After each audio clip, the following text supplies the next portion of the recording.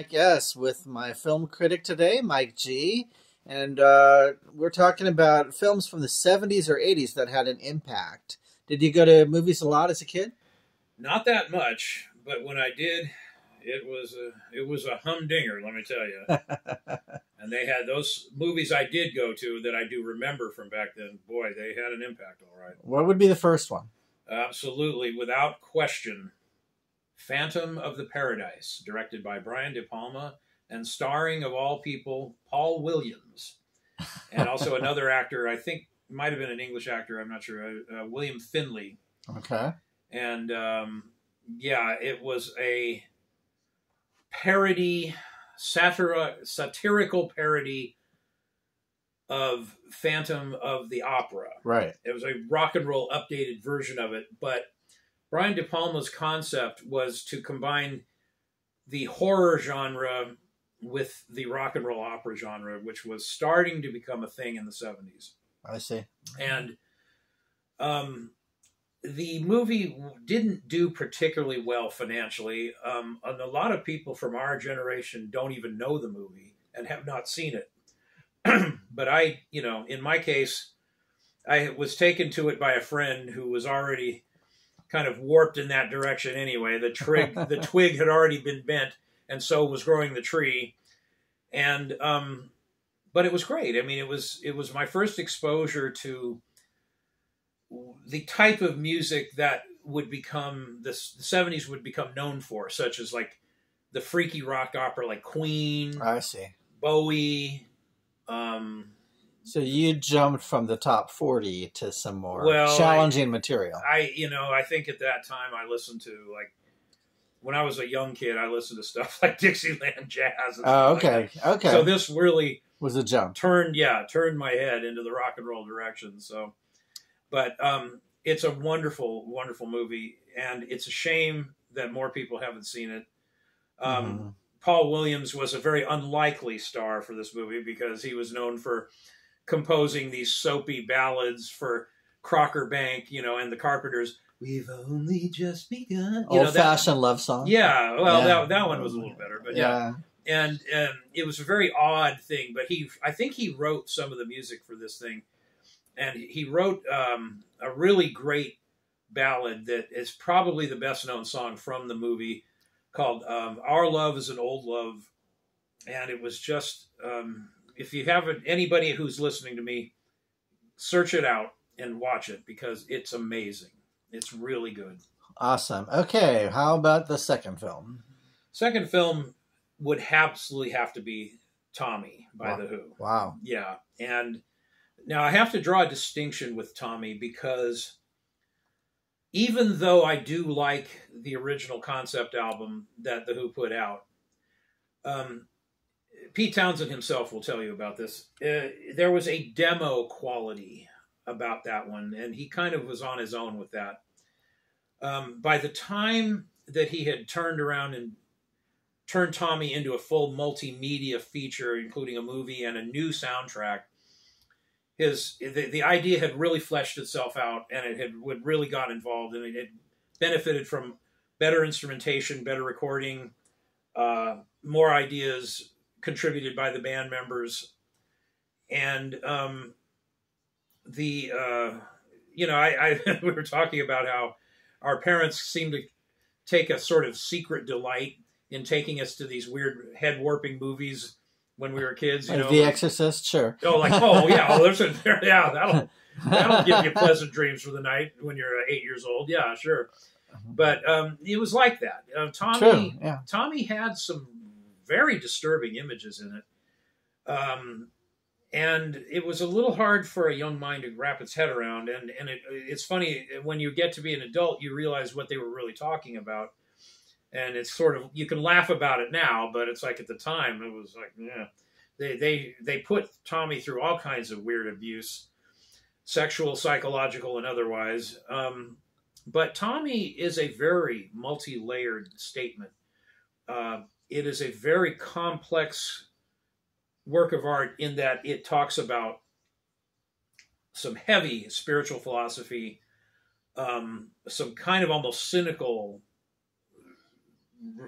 observations about the nature of human nature and the nature of religion. But um, as a musical piece, it's amazing. And the music on the soundtrack album, in some ways, was much better than the original album that was put out. And what I appreciated about it was that by that time, Pete Townshend had added a lot of synthesizer stuff that sounded a lot like uh, synthesizer artists that I was listening to at the time, like uh, Larry Fast of Synergy and things like that. Mhm. So, you know, and definitely that. quite a cast, right? yeah, uh, man, Margaret, Oliver Reed, and then of course Roger Daltrey himself, and and most of the members of, of the Who were in it. Elton. John. Elton John was in it. That's true. Tina Turner. As was Eric and Eric Clapton. And how was the acting with all these stars? And the most for the oh Tina Turner's scene was amazing. Okay. She was she burned that thing up. Um, although she kind of overdid it, but that's what kind of made it made it pleasurable Right. because or made it you know noticeable is that she just really overdoes it. How about Roger Daltrey? Was he good at- was actually very good in it. He- Really? yeah, he actually. You know, I Hmm. guess it just goes to show that to be a successful frontman in a band, you also have to be kind of an actor. That makes sense. Yeah. Totally. Okay, the last movie. My last choice would be Logan's Run. Okay. which was a science fiction movie that's well known to our generation. Um, it, it was about people. It was a post apocalyptic situation where what was left of society lived in a giant domed city, and the engineers of this society had determined that while you're alive, you could do anything you want. You could live a life of total pleasure, but you had to die at 30 and you had to die in a sort of a ritualistic kind of a carousel they called it. It was sort of a ritualistic process that everybody was witness to and everybody cheered it on like as if you were being renewed into something which was total you know total crock of crap. And we were only 10, so that seemed pretty old, right? yeah and 30 oh yeah those people. I think we thought god people who are 30 and older need to die. I mean our teachers? all our teachers yeah. But of course nowadays it's like yeah. But um, I really enjoyed that movie. I thought that even though it was not like the book, Mhm. um, I thought that stylistically that movie was extremely well done, and it was filmed at um, a shopping mall in Houston, Texas, if I'm not mistaken, a huge place, Right. and um, it was just extremely well thought out. Uh, Farrah Fawcett was in this movie, one of her first movie roles. Mhm. Um, eh, Michael York, yeah. Michael York, of course, who we know from Cabaret, but right. and also later on was uh, in uh, Austin Powers movies. Great, yeah, cameo. Now, was there a deeper meaning to Logan's Run or a subtext? No, or- not really. Um, No. not really. I think if you read the book, you'd get that. Um, I think it was just pretty much a statement about longevity and age, and you know what you can do with your life, and Mhm. what what how important it is to really enjoy and savor every moment of Ah. living that you have. That's an excellent life Yeah. lesson. Peter Ustinov was also in that movie, and he was the old man that they found who was living in Washington D.C. alone with a bunch of cats in the Library of Congress. Mhm. Um, and uh, wow. you know when they when they bring him back to the city, everybody freaks out, and he says, you, "That hair on your face, it's white. Your hair." It's like, I like, God, I mean, I can just imagine what I what they think of me. What would they think of me if I went back there? And movies were an experience back then because you went to the big screen Oh, on maybe a. Friday night. You waited in line, Sure. right? The sound was very loud, and movies just were so sensational in the 70s. I mean, Mm. I mean, we take we take it for granted now what movies are like, but move but back then it was a big deal. And the panoramic uh, you know, anamorphic Sure. aspect ratio and the the sound and then of course, you know, there were movies like uh, Earthquake and Sensurround, which they where they actually brought in subwoofers to make the whole theater rattle. it was shake. It was a big deal. Yeah, and and that was all new. Those were all new ideas back then, and right. they were extremely exciting. But as far as the rock and roll movies, both of those movies really seriously influenced my thinking and my tastes for many years to come. I see. Much more challenging. I'm Yeah. going to give you a bonus film. Tell me about Rollerball. Rollerball. Oh man, that was a b- movie that was actually just based on a short story, and I really dug Rollerball. I I thought that movie was just so controversial, and it and uh, it actually must have been because the remake seemed to blanch out a lot of the messages that were in the original film. Mhm. Now, Rollerball really did have a deeper message, and that was about the prevalence of corporatism in in our in our lives, you know, Right. and, and not just not just American society, but global society, and how corporations seem to be taking. And they they envisioned a future where corporations literally explicitly ruled the world. There was no government like Washington D.C. It was just the corporations that, and each one handled a different aspect of life. You know, there was food and there was energy, and and James Caan played this guy named Jonathan E, who was the star player in the rollerball team for Energy. You know, the Energy Corporation, or just known as Energy.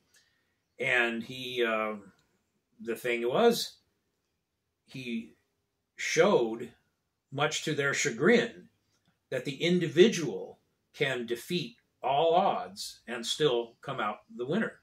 And they didn't like that. And that's what that Ah. movie's about. And they make it harder and harder and harder Ah. for him to win and almost killing him, but they don't quite get it. They can't quite get him.